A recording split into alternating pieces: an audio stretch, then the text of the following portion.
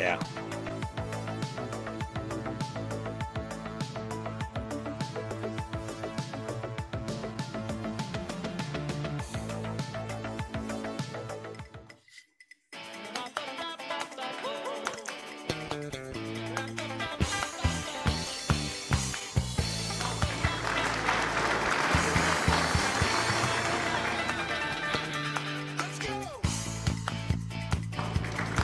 Oh, baby.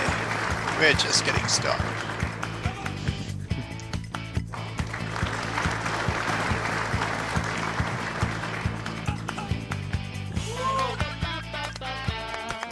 We hope not.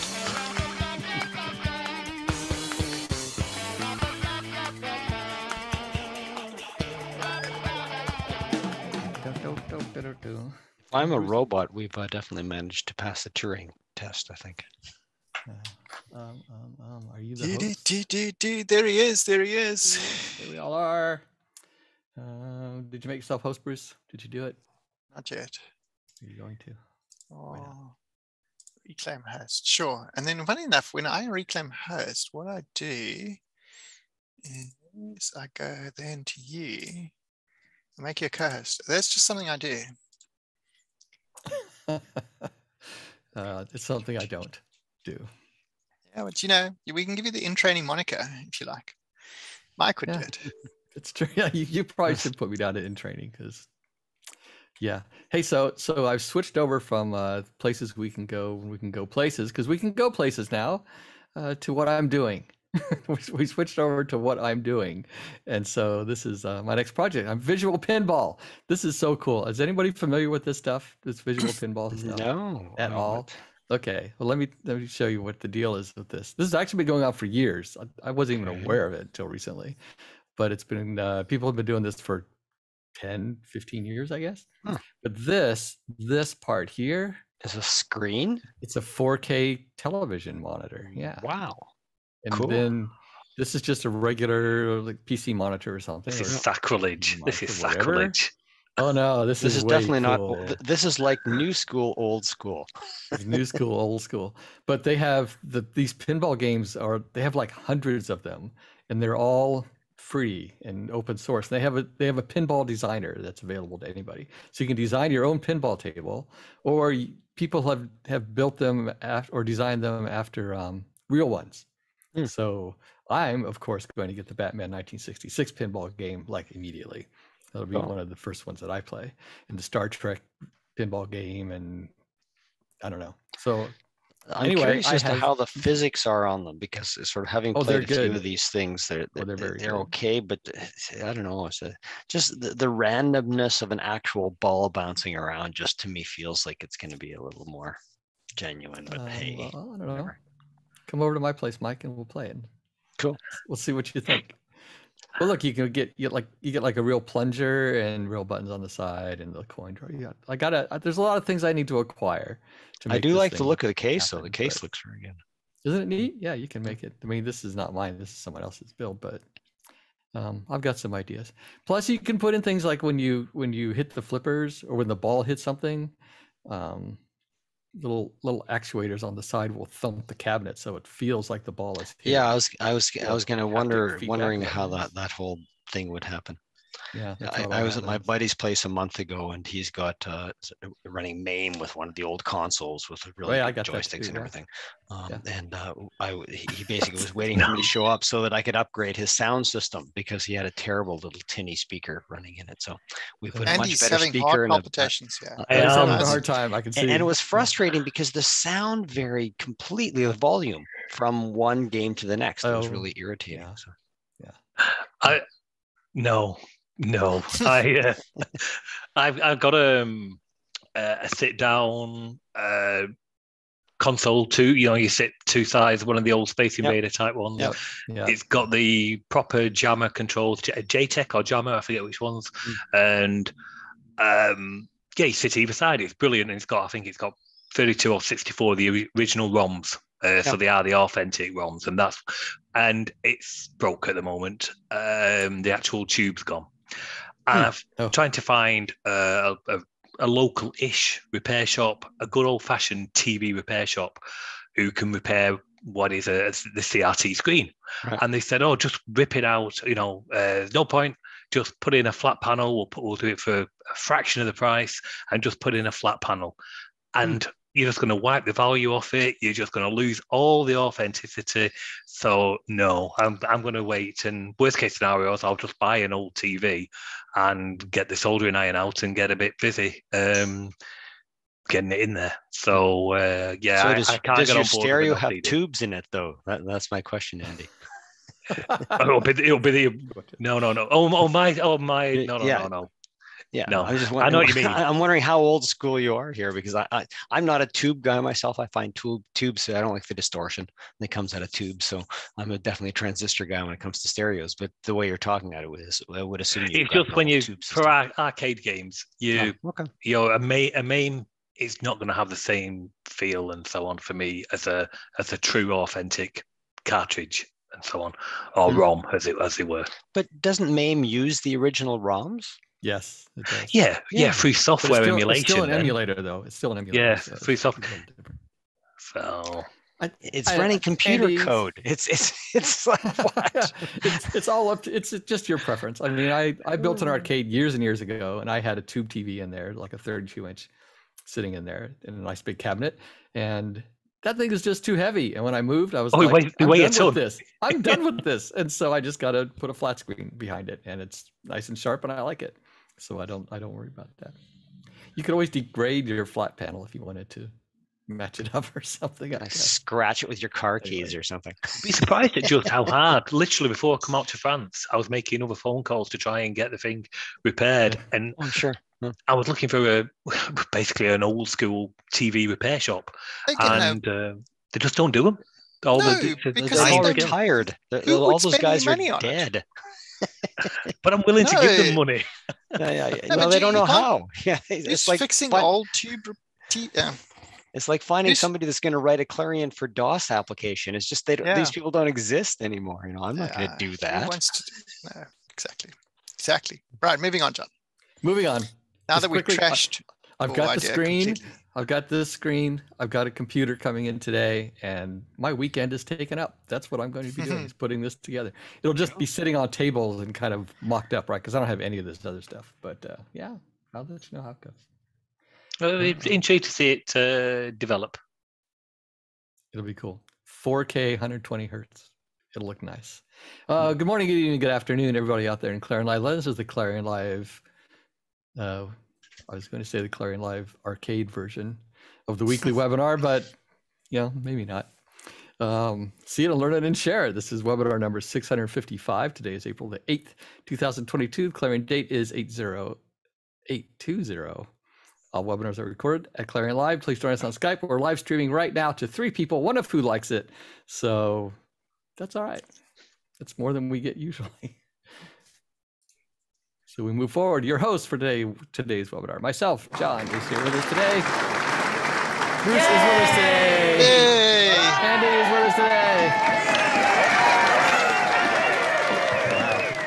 And Mike Hansen is with us today. Nice to be here. It's nice to have you. All right, we have rules. All attendees are muted. That means we can't hear you. Type your questions in the questions box. We will read them to the presenter. If you want to speak, we encourage you to do so. Please raise your hand, type the question box. Finally, auction the last house or hotel. So in Monopoly, there's 32 houses and 12 hotels. And once they're bought, they're bought. Nobody can build any more houses or hotels until something gets turned back in, right? Well, this is something I didn't even know, but apparently, when you get to the very last hotel or house, it goes up for auction because somebody is, else is might this want a that last real house. rule or a made up rule? Because it, no, no, no, it's no. kind This of like is that. real rule. That, that putting money on free parking, you know, uh, people if you put a five hundred dollar bill on free parking. If you land Yeah, on free parking, we you get five hundred bucks. Oh, let's put the taxes there too. Oh, oh, something community chest says you got to, and uh, apparently this is just a made up thing. Doesn't doesn't exist in the real rules. So this is a real rule. This is it? a real rule. Yeah. wow. yeah. Cool. I have, uh, by the way, I've looked into making a um, a Clarion Monopoly board, and you can. It, it doesn't cost that much, hundred bucks or so, hundred twenty dollars. And you you go online and you lay out the board with the All right. cards and everything, and then we and then we print. Intriguing. and then we print them. Wow. I know, and they send them to you in a box, and it depends on how many we get. So Wow. uh, we might want to look into. I mean, there's there's different places that do it with different pricing, so I'll I'll keep looking into that and maybe start making up some some cards. Cla- Clarion Live Really edition. Exactly, yeah, the Clarion Live edition. That'd be cool, right?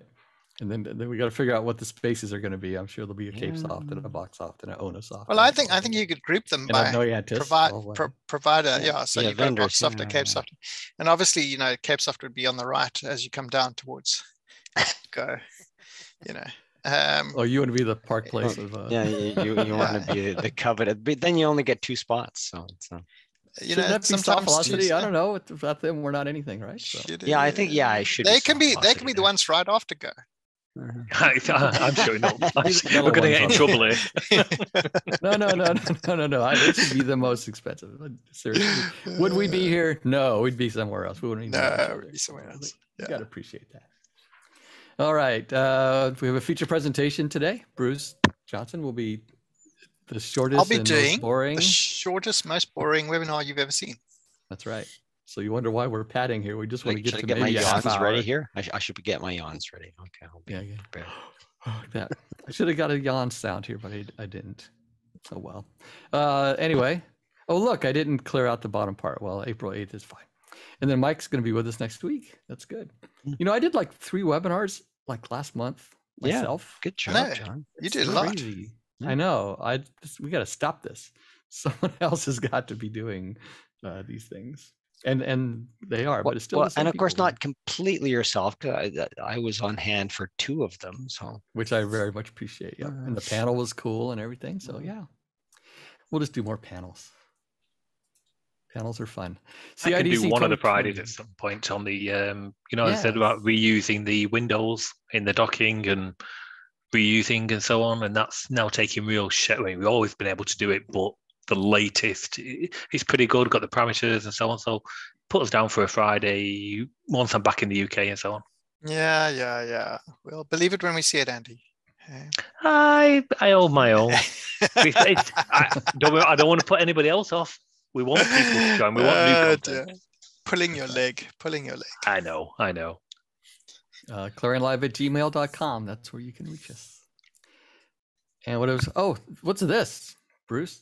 CIDC 2020 Africa. CIDC coming in 2022. 20 September. That's that date is ever firmer. Um, although one of these days I'm going to need to go down to the hotel and introduce myself because everyone I dealt with there two and a half years ago pushed off. Oh. Hotels did not do very well during COVID, it must be said. Mm. So they've got all new staff. So, but we are we are written in on their book. So yeah, that's happening. That's a thing. Please don't make me say any more about it because you know it feels like we've been talking about it for two and a half years now. It I was, does. say, I was saying, Bruce, last week, um, just before the webinar, um, I still had a travel alert set up um, to do with South African travel, and the warm came through, and you relaxed the uh, the requirements even more, which we, which Yeah. is great. I think that's positive So, step. for- from a travel point of view, they dropped the PCR test requirement.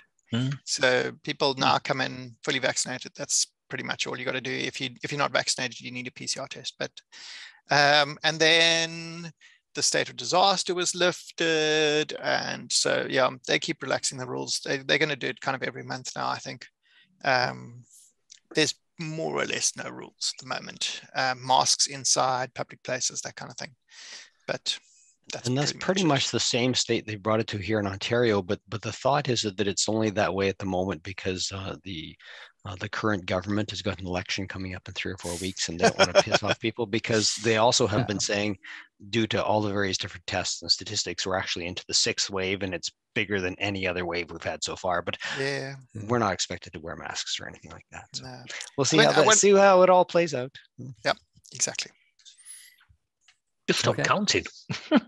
Yeah, well, that, Yeah, that's think- one of the think the things is they whole- stopped counting. They're doing it all with wastewater tests and hospitalization numbers and Yeah. etc. Well, it's the hospitalizations which are important. Case numbers aren't important, but True, true. hospitalization is important. And um, yeah, I mean, it, with each wave, more people get immunity one way or the other. So it's a, and and obviously the highly vulnerable groups are now the ones who've who've vaccinated and Yeah. you know so the yeah there's a lot of cases but that doesn't mean anything there's a lot of cases of flu every winter And they have just opened up uh, fourth, uh, uh, fourth vaccinations now here in Ontario for anybody 60 or older. So it's kind of, they're, they're trying to stay on top of it as well as they can. I was But gonna- they do know was that everybody's sick of sick of it. But, uh, Yeah. sick of being sick. I was going to hold off on my booster until um, August, probably right before I come to this. So I'm maximal immune.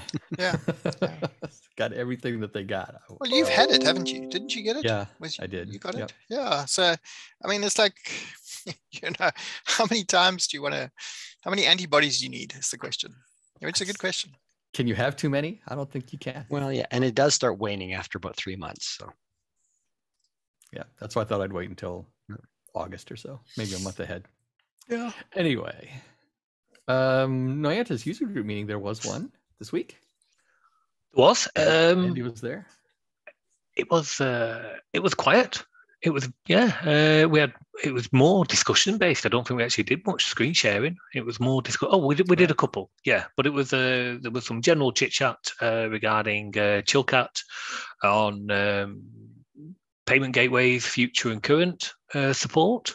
Um, Signiflow, uh, you know, there's been some movement on that, which is good, uh, and that's that's been updated accordingly, and um, email changes, that kind of thing, and new e- email task class changes, and then we chatted about uh, docking panes and the next update. uh, The thing I was on about a minute ago, where, where we are really pushing this reusable window type content, but that was really it. It was uh, it was it was good. It was just quiet.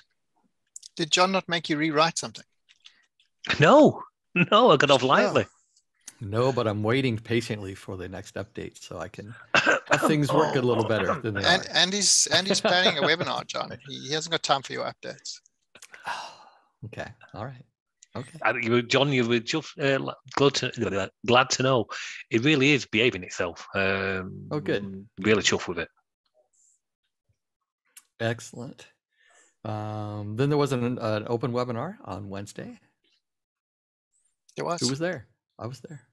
i was there I think I was there. I think it was all there. It was full, full everybody was uh, there. Compliment. Everybody was there. was i there Yeah, you were there. i was there i was remember. there yes Yeah. yes i was there Um, there was a question regarding the JSON uh, passing it. Uh, so, so Michael was having an issue with um, web services being client web services, and uh, we got him sorted out. And then Super tagging, uh, uh, TXAs. there was a super tagging question. Yeah. that Mike. I think it was more about TXA question, really. But but yeah, And then Well, actually, it was uh, a global settings change that that happened sort of along the way that he didn't. then someone realize was asking about something that Andy done.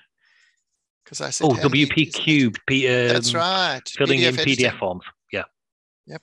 There we go. and editing. Yeah. And then uh, last but not least, I've got I've put the notes on, and it was um Michael uh, tab new selection. So he wanted to trap uh, Oh, when you we change had the an- tab. All right. right. Yeah, But we that- had that led into a good discussion conversation, about yeah. yeah, a little discussion about use equates and and how they work and what they are and everything Mhm. like that. Yeah, Voice FEQ. Yeah, yeah.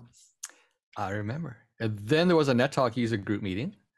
There was, and uh, we had a few questions. One uh, about changing dates for international users, changing date formats to something sane, because the, the poor guy, he's, he's written for the American market. So, you know, he's using a date format that's, well, archaic, really.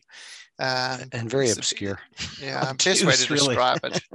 And and so now he's going out in the real world and discovering that you know they don't use the, the imperial system and um, all the all the terrible things that you know uh, gallons and and yards and yeah, he has to do that. Um, Edward gave Edward gave us some feedback on SQL about he was using SQL with um, the thread pooling turned on and getting some issues with the SQL database there, which went away when you turned thread pooling off. So that's something interesting to look into. Um, not sure exactly what's happening there, but interesting. Um, Alex had some questions about um, horizontal browsers.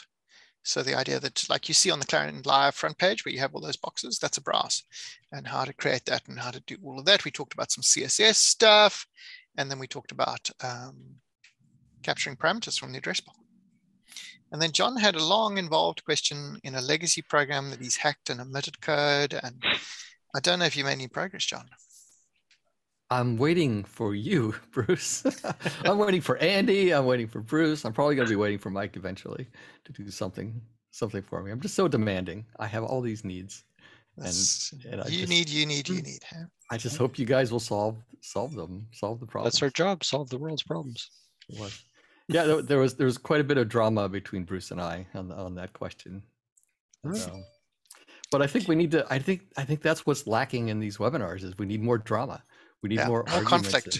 things. Yes, because you know people watch things where there's conflict and there's That's true. Well, given Yeah. given that I have today the webinar on the one true and only right way of doing something, I'm sure it, it, it will take five minutes, and then everyone will agree with me, and then we can go home. oh okay. You know, I, I know Fair enough. Mike and Andy certainly wouldn't.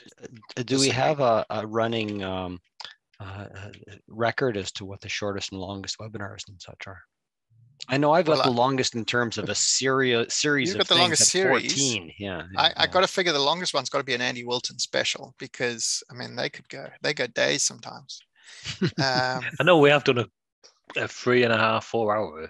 Uh, yeah, no, I mean I've before now. watched you know Avengers Endgame and Infinity War back to back, and Andy's still going. Um, you know, John's still it's- talking. John's still asking.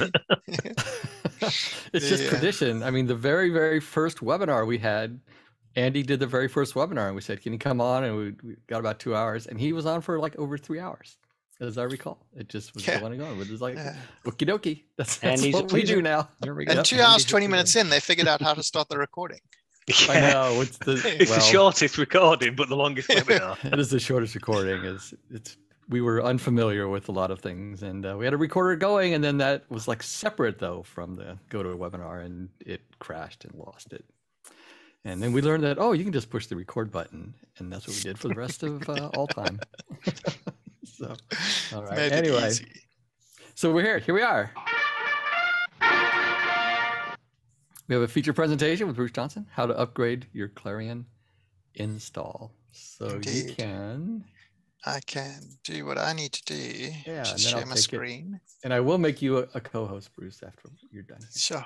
Will you though? Will you? Maybe. All right.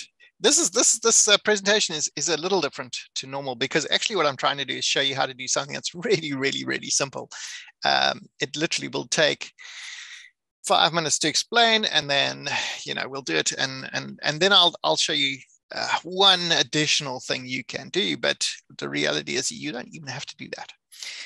Um, and the reason that this webinar came up was because uh, there was a thread on Clarion Hub about something, and I said, but this is a solved problem. This is not something. And then there seems some some, um, some confusion about that. And then I see um, posts in the news groups, and people say, "Oh, you know, must I upgrade my Clarion? Must I upgrade my Clarion? What's the new build? Is it okay? Is it not okay? Should I upgrade? Shouldn't I upgrade?" And and there's this almost like this this hold back and wait until someone anoints this build and says it's okay and whatever. And the reality is that it's so completely trivial to have multiple builds going that it's quicker to install the thing than it is to ask the question on Clarion Hub or the news groups or whatever. And so I would I was just going to demonstrate the way I do it. And it doesn't take any time and it always just works. And it's completely backward. Uh, you can roll back with no effort at all. So let me show you what I mean. And for purposes of this, I'm going to use um, some in, uh, install, one of the Clarion installs. I haven't actually picked which one yet, but um, that's not important. The, the, you would do this uh, for a Clarion patch update. You would do this if you were installing, let's say you were going from NetTalk 11 to NetTalk 12, you would do this exact same thing. All right, exact same process. Whenever you're doing a huge, big update, uh, you're going from Noyantis version 4 to Noyantis version 5, and you're like worried about what's all going to break and how's this going to work and how do I roll back? And th- this is just this process, right? I'm going to go to my C drive and I'm going to go to my Clarion 11 folder there. Okay, so if I currently run Clarion 11, it runs out of that folder. Whatever's in there is, is what's running.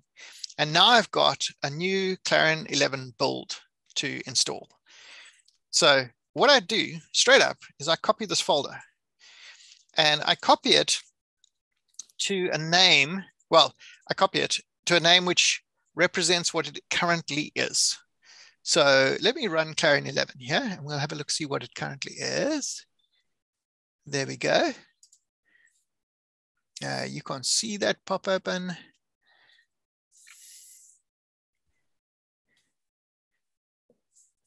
Okay, there's my Clarion 11. And I do this from Clarion, uh, with this like 11.1, I would do the same thing. All right, so this is Clarion 11, and this is uh, 13630. So I'm just going to name it that. I'm going to close Clarion while I do this, 13630. So I go Control C, Control V, and it's going to copy. And it's quite a big folder, so this is going to take a minute or two to do, and we can waffle while this happens. I think there's a few, I think this one's quite big actually. There's probably about 10 gigabytes in here. Um, because I put my examples in my Clarion folder. So when I do this process, I get all my examples cloned as well. Um, if you like, you can have your examples out in some other folder. That's this process would be exactly the same. Doesn't make. Is there difference. any particular reason why you put your examples in your Clarion folder? Yeah, they're just it's. Uh, I've got examples that match what's in these builds. So if I've installed NetTalk 11 into it, I get all my NetTalk 11 examples. If I've installed NetTalk 12 into one of them, I get my NetTalk 12 examples and so on. So I've got because I do this process with accessories as much as I did with Clarion itself. Um, it's helpful to have the examples. Plus, well easy to find them. I spend my life opening and closing examples, which is probably not true for most people. But between the webinars and, and obviously the work that I do building classes and so on, um, I'm, I'm diving in and out of apps. And so having a very small, short path, the idea of having the examples off in app data somewhere, it's, it's too hard to get to. So I just have it in, I don't even put in accessory examples. I just have a Clarion 11 backslash examples. Um, and that's where everything is. In fact, Softvelocity got their own folder in there. so one of the folders in there is Softvelocity, and I put their stuff in there. It just um, I type the stuff, so I keep in the names short and so on. Um, I also would not install Clarion into your program files folder. When no, no, that's, um, that's dangerous. No. There's once upon a time there was a, a thing to do that, and that's particularly why Clarion moved their settings out. Clarion moved their examples out. They go, I say Clarion, um, Softvelocity move their examples out. It, it's just not, it's not helpful.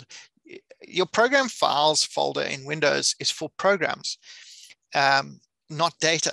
The problem with Clarion is that to, to a large extent, the program is the data. It's, it's all kind of smushed together. Like your template registry, for example, is in your Clarion 11 slash uh, template slash win folder.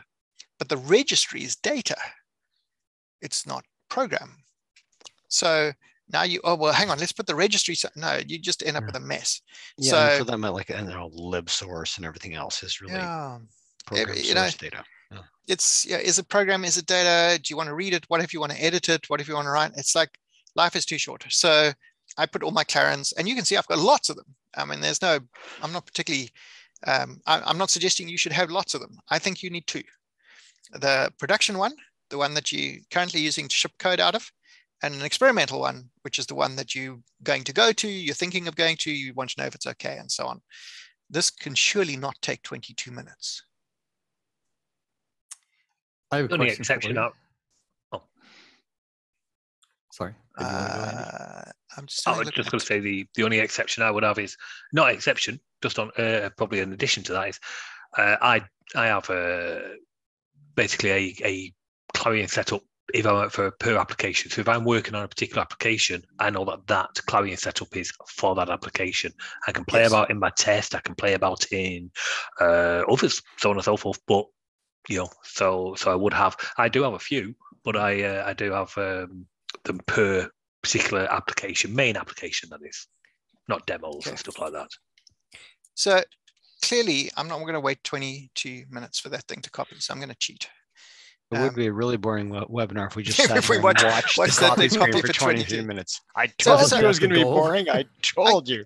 I could call this Clarion 11 production, or I could call it Clarion 11. Um, and and what I sometimes do is put like a, a, a thing, but I'm gonna I'm just gonna call it production. Right now, clearly, I'm gonna just I'm gonna cherry pick the folders out of there because I know which one is the big one, and, and we can just not copy that. We get rid of that thing. Go away. Yeah, I don't is- like using Windows Explorer to do any kind of file operations, or Uh, unless they're like really tiny little, just move a little know. bit of stuff around. But for anything big, I just drop to DOS and do it there. Uh, so yes, yes, you could do that too. Um, okay, so I'm remember I'm copying my current one to to a, a, a now it's going to be a new one, but in fact it's an old one. So uh, let me just copy Clarion 11. Uh, oh, so it's everything except examples. I have a lot of examples. Something like 600. Probably don't need backup either, but whatever.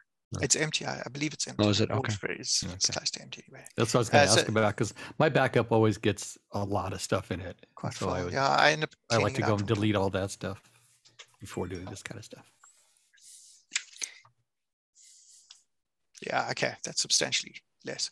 Yeah, my examples, I have a lot.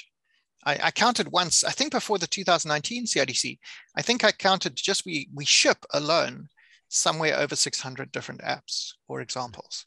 Um, and a lot of those end up being compiled, which means that they end up with generated files and yada yada yada in my whole system. So um, yeah, that's why there's there's like eight meg, eight gigs of that examples folder. Hopefully this oh, this will take four minutes, which is somewhat less. Um, but you, we can pretend I just copied my Clarion folder, which is what I do for Reels. I just copy that Clarion folder. It's going to take 20 minutes. I'll walk away and come back 20 minutes time. Do, do, do, do, do, do, do, do, do, do. This is boring, Bruce. It's supposed to be, Mike. this, this, this should really be boring. Now, what amazes me is that people don't do this step. So they go, oh no, they just got the latest Clarion patch and they just install it straight into the Clarion 11, which is fantastic until you discover there's a problem for whatever reason. And then it's like, well, how do I roll back? Oh, now I've got to reinstall everything from scratch. Or they go the complete other way. They say, no, no, no, I never install over the top of my folder. I, I always install into a clean folder and then I reinstall every third party I've got and then I reapply every change. I, it's no. Any No, particular reason why you wouldn't just use uh, uh, what's it called? Uh, I'm just blanked on it here. Uh, you just set up a code repo and do it that way. Sure. With source that- that control. would- Yeah. that would- yep. If you've got source control, same difference. You, you just you branch it. Yeah, Um, uh, exactly. you- yeah. Or tag it Uh, or something. I don't know. whatever floats. But just make a backup is ultimately the lesson here. Well, it's not so much a backup, is that it's a working folder. All right. And that comes into play in a, in a moment because this production folder is still live. It's still completely working, still perfectly capable of compiling my Clarion apps. In fact, I can move my app between production and experimental with one menu selection. Um, and that's what makes it so easy to go, okay, well, I'm just going to compile my stuff for a couple of weeks in experimental. And I'm just going to, in your normal day-to-day stuff, you're compiling, you're running, you comp- you know, testing stuff and whatever, you'll get a very quick feel for whether the thing works or is completely broken. And if it's completely broken, you, you don't do anything. You just go to your menu item and say, uh, I'm going to use my production environment. Um, and it jumps back to that, you recompile, and now your program is, is exactly as it was. Um, this is also very good for like uh, guys saying, "Oh, I'm going from NetTalk 11 to 12, and that sounds big and scary and a big thing jump." Well, you can take your one application, compile it with NetTalk 11, uh, then you can compile it with NetTalk 12, then you can compile it with NetTalk 11, then you can compile it with NetTalk 12. It's you just oscillate between the two. Uh, it's not a if you move forward, you're always going forward kind of system, and it's not a oh I'll have to restore that from backup and lose all the work I've done kind of system, which seems to me what people are doing, which is just bonkers because why would why would you do that? Um, so all right, like I say, boring. Replace the file in the disk, and whatever the hell that is, CHW. Hey, replace it. Okay, so here's my this is my production folder, and this is like still perfectly live, not a problem at all. Um, here's my Clarion 11 folder, and I'm going to install my new patch into Clarion 11. So I'm going to go find my Clarion patches. Clarion, oops, uh, X Clarion updates, Clarion 11, gold. and I've got all the builds. And what's which one am I going to install? I'm going to install this guy here. Why not? Um, this is my latest Clarion 11 patch. I'm going to install this one, and I'm going to run this install. Um, and it works the same if you've got, again, if you, you know, you're doing a big accessory update, I'm sure Andy stuff lets you pick which folder you're installing into. Um, certainly ours does. I accept the license agreement without reading it. Uh, I'll do a custom install. Uh, sure, why not? That looks all right. Now notice I'm installing where it actually remembered where it last installed Clarion 11 to, which is C Clarion 11. So I'm going to use C Clarion 11 as my experimental folder, for want of a better word, right? My my day-to-day driver folder.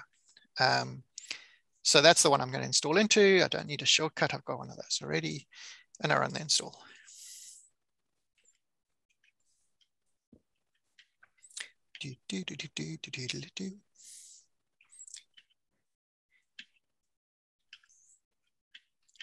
And it doesn't matter what you call the folders. As you saw with mine, I've got I've got a bunch of Clarion 8s. I've got a bunch of Clarion 9s, 10s, 11s. I've got an 11.1 in here somewhere there. I've got an 11.1 AnyScreen somewhere. Uh, I might have taken it out. Um, I, that one I was experimenting with the Ninja templates. This one is for PDF tools and so on and so on. You can see I, I go to town with this, but I'm a little different because I need some of these old things for doing examples in and so on. All right, so it's finished, it's installed, that's great. If you get a reboot message, it's a good idea to reboot. What it means is you had Clarion open when you did the install. And so the installer wasn't able to replace some of the DLLs and uh, you just made a mistake. You should close Clarion before you upgrade Clarion. I didn't mention that, but I suppose I should have. You should close it first. All right, so now I've got Clarion 11 there, which is my new one. And I've got Clarion Prod, which is my old one. Those, those are the only two you're gonna have, right? Gonna have you, you might have more, but those are the two you're gonna have. Now, my shortcut on my desktop, I didn't add a new one, but my shortcut, which is one of these, there, that shortcut still points to the right place. It's still pointing to that folder, which has now got the new one. So mm -hmm. my mm-hmm. shortcut always points to the latest one, which is why I do this, rename the production one back out and, and not have a Clarion 1 experimental folder. Um, so here's my Clarion 11, is that right? That's my Clarion 11. I only ask because these icons, for some reason, keep moving. Windows has got this idea that I should move my recently pressed stuff up to the top, and it's horrible. All right. So here's Clarion 11. Okay. And this is what's known as the current version. When we talk about builds, say Clarion version, this one is the current version. You can see it's the one that's on at the moment. But I'm going to add my production version. Now, again, if you just have two folders, this is only something you're gonna have to do once. Um, but you go to tools, options, bring them in, Clarion, versions. And then the world's weirdest interface, you go to this drop down, which you probably have nothing in it because you haven't done this before or you don't have lots of things, and you pick new version, which for some reason now makes a new version. I, I yeah, okay. Don't get me started. C, I'm going to pick out my Clarion 11 prod. Clarion 11 prod, that's the new one, okay? I go in there and I go to bin. Well, it's the new one and the old one. yeah, yeah, don't, don't get bogged down in that. okay. I know what you mean, but don't, don't, don't get bogged down. All right, so notice it's got a name. So I'm going to call this prod or 11 prod or C11 prod or whatever you want to call it. That's my production. Um, and notice it's picked out that folder. Notice it's picked out these folders all right. It's got my redirection file from there. It's got all my compilers. None of that matters. You, it'll just work. Although you'd still have to add all of your um, extra search if you had other search redirection files and such your libsource Abs- folders. Absolutely. Yeah. If if, yeah. if you've messed with yeah, yeah, yeah, If you've if you're familiar with this and you've added more stuff here, you'll add more stuff here. Yes. Yeah.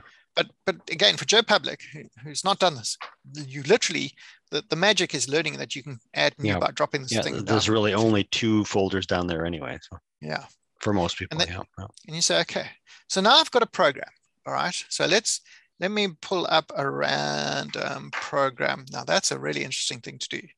Um, notice I'm still in current version. Clarion version, current version. So now if I open up a program, oh, I want to open something that's okay. Um, I'm not opening a Clarion example now, right? Pretend I'm opening my actual program. I don't have one local on this machine, but anyway, um, I'm opening my actual program. There it is. It's in C Bruce apps, whatever, however you've got it. And I open it and I can go ahead and compile it. And I'm now compiling against the new Clarion. All my accessories are still in here. I haven't installed any other accessories. I haven't had to um, go and fiddle with whatever I needed to fiddle with and anything like that. This is the new build of Clarion as it was shipped by Softvelocity. And the only difference between this one and the prod folder is that I've run the next patch in here.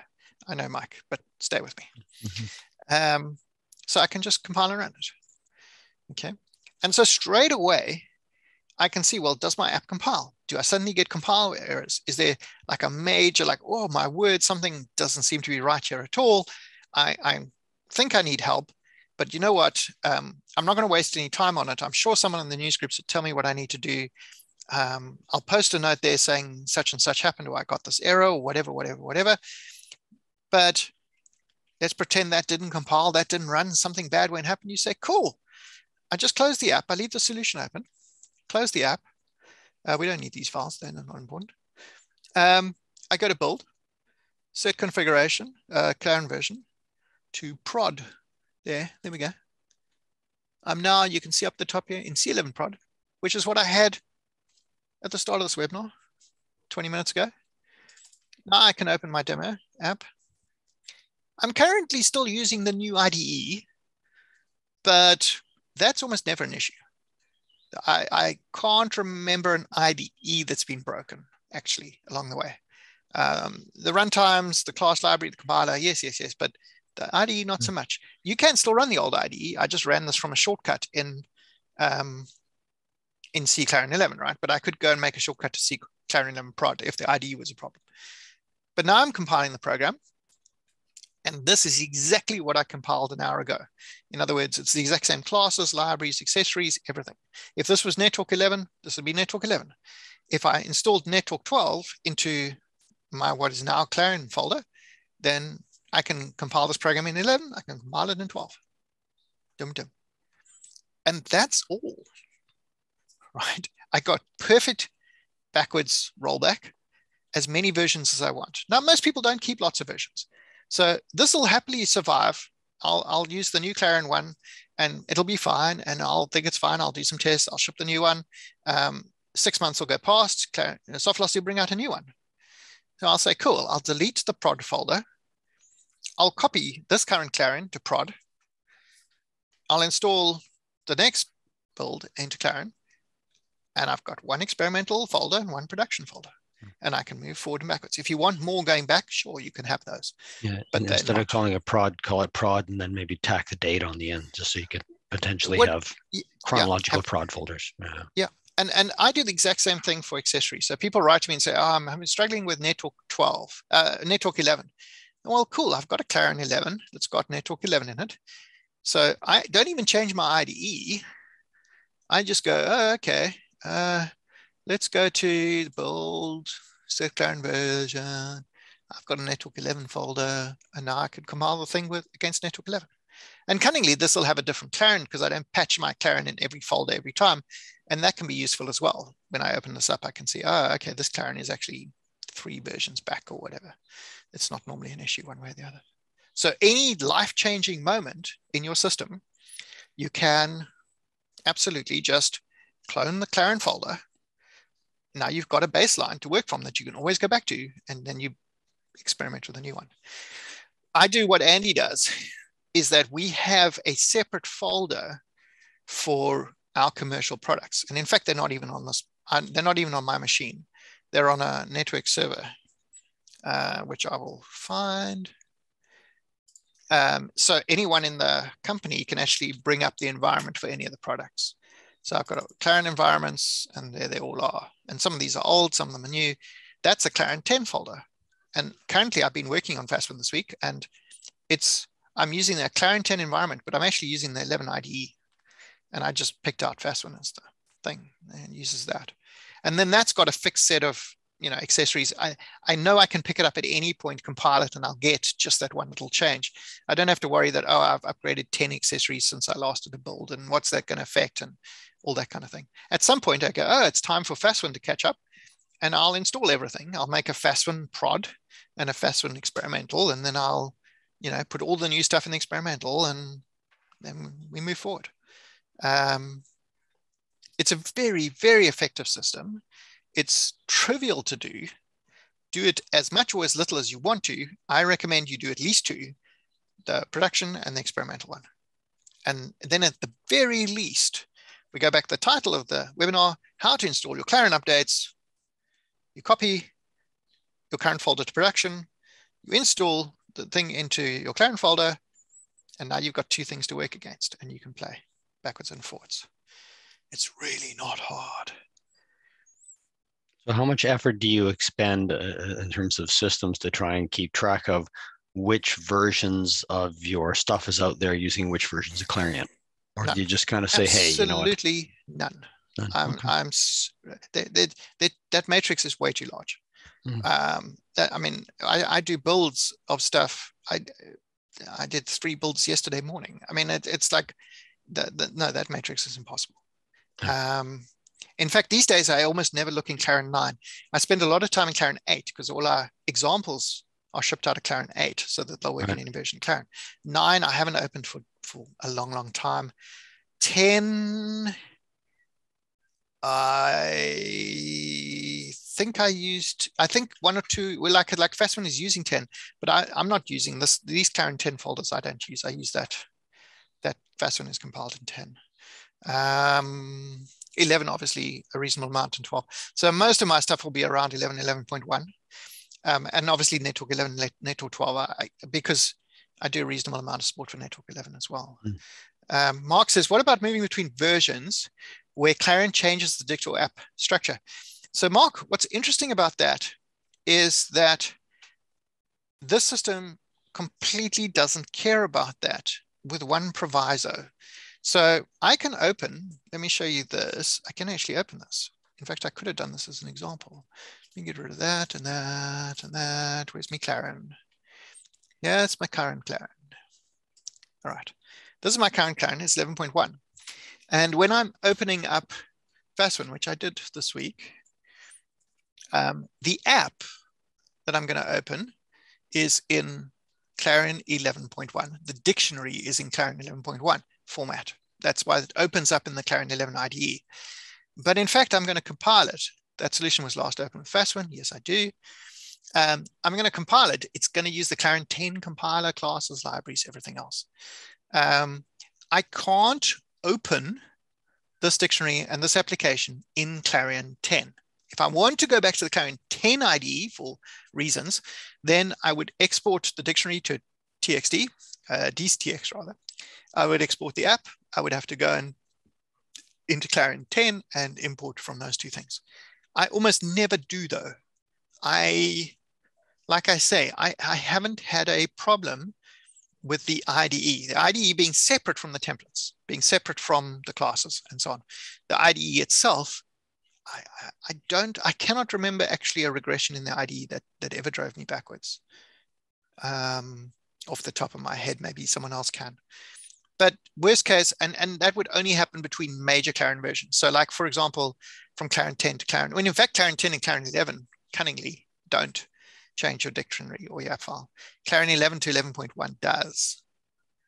No, I lie, it doesn't, or does. I don't think it does. And nine, let's let's pick a different one. Nine to 9.1 did, 9.1 to 10 did. Um, but it's it's just not a factor. I don't particularly want to work in the Clarion 10 IDE. In fact, I particularly don't want to work in the Clarion 10 IDE. Um, uh, 10 to 11 to 11.1 uh, does change this mark. Oh, I had apps in 11 that I, I did take back to 10 and open up in 10. Mark, maybe the dictionary changed, but I don't think the apps changed between 10 and at least from, yeah, I, let me not, let me not, um, it was a long time ago. But, but I keep the apps in the current IDE version obviously, um, you know, if the current IDE version is so trashed that it's just no. I think firstly you'll find that out pretty quick if you pay any attention to the news groups or the Skype chats. That'll come up pretty quick. Um, and worst case worst, you come in here, you export, and you go back. Or if let's say it trashed it so badly, you, you know, well then yes, restore from backup. Uh, backups don't go away. Backups are still your friend. But if it literally trashes the app on opening it, um, you you you haven't lost anything anyway. You just restore your backup app. Wolfgang says, Bruce, Clarion ID is on your local machine and the app dictionary and source files, like classes, are on a shared folder network. Um, yes. Well, so for our production stuff, yes, Wolfgang, because we've got um, multiple people in the office. And while we mostly work on our own stuff, there are times when someone's on leave and someone else has to go fix a bug. Um, I want to be able to pick it up with Jeff's environment for that program. I'm going to compile Veculum. I'm going to pick up the Veculum environment, and I know that's what Jeff is compiling it against. Um, so I can compile it and get a byte identical version. That's really important. Um, that just gives us continuity going forward. So in that situation, yes, the, the whole Clarion environment, that Clarion folder is, is out on the network. Which one did I have it? Uh, it's on, it's, yeah, it's on Morph. Oh, no, that's extra. Hang on, it's on Morph. We don't even map a drive to it you, you don't have to use a map drive. You can just map the environment. So morph, and we've got these shared Clarion environments. So these all shared, I can, I can, you know, pick this out. If you look at my versions, it's backslash backslash morph Clarion environment. Um, so that's all, that's all on the network. But obviously for my personal work, again, because of the classes and stuff like that, um, the others aren't interested in it. And so for my personal work, I, it's all on my C drive, which is a little bit quicker, if I'm fair. Um, mostly because my C drives are SSD. So, you know, a network drive is, is a C drive, but but the benefits outweigh the um, slight time delay. If it's too slow, you can always upgrade your infrastructure. Don't get bogged down by the fact I've got lots of them that's just because of the kinds of things I have to work in. Um, I'm saying you should have two. That's that's my that's you just need two, and now you've got always one that's you're completely happy with, and one that you're putting all your new stuff into. Um, yeah, that's that's really all I have to say. Hence the world's shortest webinar, John. Finish before the top of the hour unless anyone has any other comments to throw in without muddying the water. No? Seems reasonable. Yeah, uh, Mike says, huh. if upgrading, say NetTalk 11 to 12, but keeping the same Clarion version, in other words, I've got a NetTalk 11 in Clarion 11 and a NetTalk 12 in Clarion 11, what do you do? A little confused on that. Nothing. I've now got a Clarion 11, which I called that, and I installed NetTalk 11 into that, right? Well, in fact, I, when I made that, it had NetTalk 11. Now Bruce is coming along and saying, hey, I'm going to make a NetTalk 12, yay. so I'm making, my current folder currently is this guy here. Actually, it's this guy here. He's got NetTalk 12 installed in it. Um, the reason I have this one is because I'm currently working 11.1 and I wanted an 11.0 NetTalk 12 version. Um, so I just made a version and I can open up an application and compile it against NetTalk 11 and I can open it up and compile it against NetTalk 12. And if I don't like it, I go back. There, with NetTalk, there's one, NetTalk is very clever and NetTalk 12 added two new buttons. So when you go back to 11, it says, what are these two buttons? Um, and there's a list of buttons in one of the templates. And you just go into that list and take those two buttons out. That's, that's the only trick to going back from 12 to 11. Um, but no, otherwise, you, you know, you can compile it up in 12 and see what happens. If you don't like it, you can compile in 11. And then you write and tell me what you don't like or what happened or whatever. And I write and say, oh, no, you just need to make sure your settings are this or you pick that style or whatever. And now it's working, you can try it again. And then it's the same app file over and over and over again. It's so easy. Clarion has had this since Clarion 7. it's like Crumbs JP was teaching us how to do this stuff. He was using this to compile Clarion 6 stuff. Um, I, I, built right into the system. We just use it, and then upgrades become so unbelievably painless. Yeah, and I you open with the so the the comment that everybody says, "Hey, is such and such a version safe to use?" I think uh, it's not necessarily just the fear of how do I do this upgrade process, but if I if somebody knows it's broken, I should I even bother looking at it? I, I don't want to be the person who's going to stub their toe if somebody's already you know, spurted yeah, blood on the floor and uh, yeah. has figured out that it's not worthwhile. Yeah, I mean it's not it's not the worst idea in the world to I, I install it straight away, but that's okay because you know I can roll back. Um, yeah, it, wait two days. Look at keep your eye on the news groups. There's always chatter after a build. Mm. Yep. And straight away, you'll discover whether the thing's completely broken or it's broken for some guy who's got this little block of code or it's broken for some guy who's using, I don't know, Power Browse or something.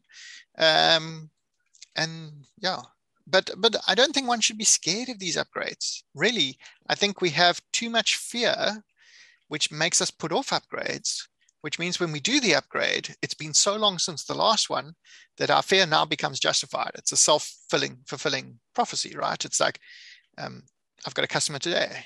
Well, today, this at the moment, he's he's upgrading from Clarion five. Uh, you know, of hmm. course, it's going to be a tough upgrade.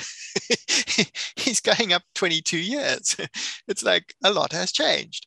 Um, if we keep up, if we, you know, do your upgrades really, I mean, it's not like Softvelocity is making a build every week, right? It really isn't. Mm-hmm. Um, and so I go ahead and just use the experimental one until I notice it's broken. And then I just go back to the production one. I stay there until the next build comes out.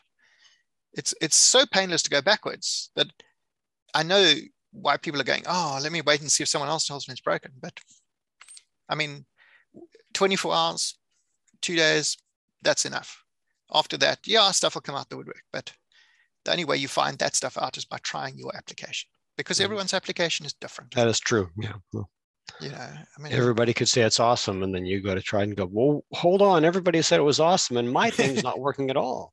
I know, but by then Softvelocity have moved on so far. It's yeah, actually yeah. now you it gets harder to debug that. It gets harder to get a, a, a reasonable fix out and yeah. stuff like that. So, and of course, we're all busy and we're all hoping that, that somebody else will will uh, uh, suffer the the bumps and knocks and such things. But uh, it as you as you've indicated, it, it can be an issue. You commented that uh, that you don't do anything in C9 anymore because all your stuff's newer. But uh, one of the main systems I'm working on is still compiled in C9.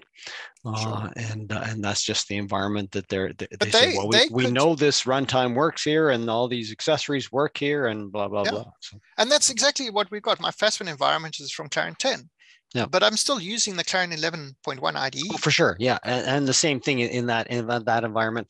We're using Clarion 11, not 11.1. We're using 11 there, but 11. hey, whatever. Yeah. Um, and, and, similarly uh, with with one of the other big projects I had uh, was a Clarion 11 again, but it was um, a C8. Yeah. And actually, C8 was special compilers that were the because Scott Ferret had been working on that. So he actually created special versions of the Clarion compiler to deal with driver bugs. yeah. Oh, yeah. Yeah. Exactly. It's, it's, a, it's a little special, but but they're like, but we're just not going to move to the new version because we don't know. Yeah. Yeah. I like I say, I've I've I have not been stung by IDE issues. So maybe I'm just complacent there, but I'm very happy to move apps forward um, into the latest IDE, but keep the runtimes if you want. Right. Yeah, um, which is what we're doing there. Yeah. yeah. You know, when I move Fastwin forward, I'm not going to keep the, the Clarion 10 version of Fastwin hanging around. I'm going to turf that. Mm-hmm. I'll keep it for you know a month and then get rid of it. I don't, I don't need them going, oh, this was Fastwin and Clarion 9 and this was Fastwin and Clarion 8. I mean, there's, there's a limit to how useful the stuff is. Yeah. Huh. Yeah. There you go, John. I don't think we want to pad it. I think it's a simple process. Just do it. Yes. Just I think we I think we're it. all doing it. I'm not, I, I mean the hands up, uh, I suppose let's do a quick poll. Hands up. Who is who does it this way? Or you know, along the lines yeah, yeah, of using some, some permutation of that. Yeah, yeah, for sure. Yeah, Mark's doing it on. The hands are all going up. I mean, I, yeah, well, not all, not all. We got three. Okay. now two, someone's not sure. Um, yeah, okay. Uh, this is by far the easiest way to do it. So there you go. Everyone else learns something. And now if anyone asks, should I upgrade? I'm going to say, just, just go watch the webinar. Stop messing around. Cool. You can take the screen back, John. Um, I'll do that, but I'll, I first want to say, Bruce, I noticed at the very bottom of your File Explorer there that you have Classify It, which is I do. available at www.onosoft.com for just twenty-five dollars until the Bang, next release. Beat the drum. happens. Beat the drum. until that happens. But um, I was going to show some a classified update today, but I didn't get it done. So I am planning on having a demo possible release on Wednesday on the open webinar. I'll show where we are, and um, I think you'll be happy, Mike. Cool. I I like to be happy, John. You, Because you, you know, notice, normal, We'll normally I'm a real see. curmudgeon, We'll and so so yeah. I, I noticed, John, you made the wrong Bruce the co-host. Did I? Well, I did the one that lost the co-host. No, you This is why you should. I keep asking you to name it so I know, and you don't. Well, it's it. easy to remember. I always log in There. to Zoom as Bruce because there's less typing. Right. The So Bruce you're asking Johnson- me to remember things. Is that right? Well, you know, I'm just saying, if you weren't in training, then uh, I could get John to do, uh, Mike to do it. I guess. I don't could think I'm the host anymore. So No, you're co-host. am I co-host? Can I even pull it? Can I even pull it over? Sure Can, can a co-host make you a host? I don't know. I'm I'm I think battling. you can. A If you're a co-host, you can do everything a host can do. yeah, on a I don't know. YouTube. Well, I suppose then I could use my other co-host privilege to upgrade myself. Uh, John's made me a co-host. Yeah, Uh, Q&A, there was a Q&A. Uh, Wolfgang says, my strategy is to clone the entire hard drive and to continue with the cloned drive. If I notice anything's broken, I take one of the previous hard drives on the shelf and no, yeah, it's way too complicated, Wolfgang. I mean, a backup's obviously a good idea, but I can switch forwards, backwards, forwards, backwards, forwards, backwards in one menu click. You're going to reinstall a hard drive from a cupboard.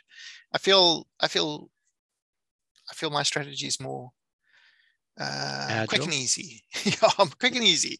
I feel you're going to be like, I'm not installing this till I know it's. I, let me try this again. I will not install this until I know it's perfect because it is so hard to go back because I have to go get an entire hard drive out of my cupboard. Never mind how long it takes to clone your entire hard drive. Not to mention the cost. But backups are good. I approve of backups. I, I do not mock your backing up the hard drive and storing that in cupboard. That is a good thing. Um, but I'm saying you can just clone the two folders. You can swap between them very, very quickly. You don't have to mess around. And I will note, Wolfgang, you're not always the fastest upgrader, are you? So maybe my point is uh, valid.